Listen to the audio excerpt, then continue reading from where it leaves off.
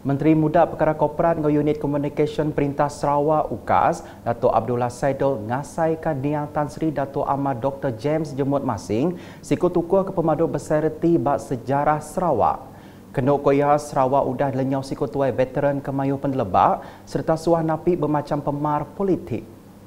Dan sebagai pemimpin muda seperti saya, saya menghargai setiap detik dan uh, peluang uh, ketika dapat berjumpa dengan beliau secara peribadi dan berkongsi pandangan beliau dan pengalaman beliau terutama sekali tentang uh, sejarah uh, perjuangan politik berbangsa orang kaum Dayak terutamanya.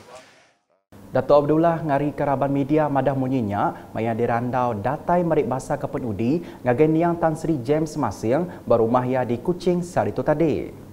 Ia madah diri ngelalan Niang Tan Sri James Masing, siko orang kebalat berbasa lebuh berjaku, kelimpah berbendar mutar ke isu tingawal bangsa bumi putra Sarawak engau kebukai.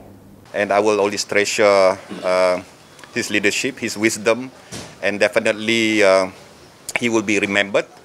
And uh, and all the thing that he have done for Sarawak untuk generasi baru will be treasured. And saya rasa dia adalah individu uh, penting dalam sejarah Sarawak.